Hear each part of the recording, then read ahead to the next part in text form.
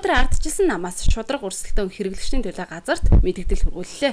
Энэхүү мэдээлэлд 2017 оны ерөнхийлөгчийн сонгуул ихсэнтэй холбоотойгоор ардчилсан намаас явуулж байгаа сурталчилгааны материалыг Монголын үндэсний олон нийтийн телевиз болон арилжааны бусад телевизээр нэвтрүүлэхэд зориуд саад учруулж төрийн нэрээр далайлган сүрдүүлж нэвтрүүлгийн утга агуулгыг хууль эрх зүйн үндэслэлгүйгээр цензурдж байгаад ардчилсан намын зүгээс харамсаж байгаагаа илэрхийлээ. Шудраг өрсөлдөөн хэрэглэгчдийн төлөө газрын энэхүү үйлдэл нь эрхтгч сурталчилгаа явуулах тухай сонгуулийн тухай хууль болон үндсэн хуультай зөрчилдөж байгаа тул энэхүү үйлдэлээ нэн даруй зогсоох зогсоохыг шаардж байна. Ерөнхий менежер санж мэт өгсөн юм а.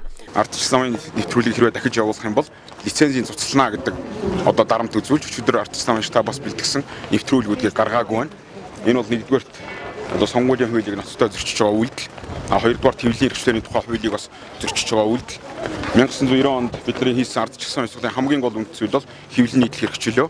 Хэвлэл нийтлэх хэрэгчлөө хөлөөнд альва нэг хүнийг гүтгсэн эсэх асуудлыг шүүх тогтоодог болохоос биш ямар нэгэн төрлийн байгууллага өөрийнхөө үзмжээр хандаж одоо тэр гаргасан нэвтрүүлгийг гарах эфирээр гаргахгүй гэдэг тийм зүйлийг хэлэх нь л яа харахгүй хууль ус үйлдэх юм аа. Тэгэхээр өнөөдөр бид нар шудраг өрсөлдөөний газрын даргад энэ шаардлагыг хөрвүүлж байгаа. Мөн энэ үеэр мэтгэлцээний тухай лавсан сэтгүүлч асуултанд ийхүү тайлбарыг өгсөн юм а. Энд дээр манай сонгуулийн штаб ерөнхий менежерийн гар өчиг би шудраг өрсөлдөөний газрын даргад оруулж өгнө. Нэр дэвшигчд ажилд ажил тэнцүү хандах хэвээр энэ зарчмыг бол зайлшгүй хатуу чанд баримтж ажиллахыг хүсэж байна. А тэгээ эхний дараа дахиж одоо ийм асуудлаас гарахгүй гэдэгт ардчлан штабын зүгээс итгэж байна. Ийхүү хуулийн дагуу яаралтай арга хэмжээ авч Монгол улсын ерөнхийлөгчдийн сонгуульд нэр дэвшигчдийг шудраг өрсөлдөх боломжийг олгож өгөхийг хүсэн юм а.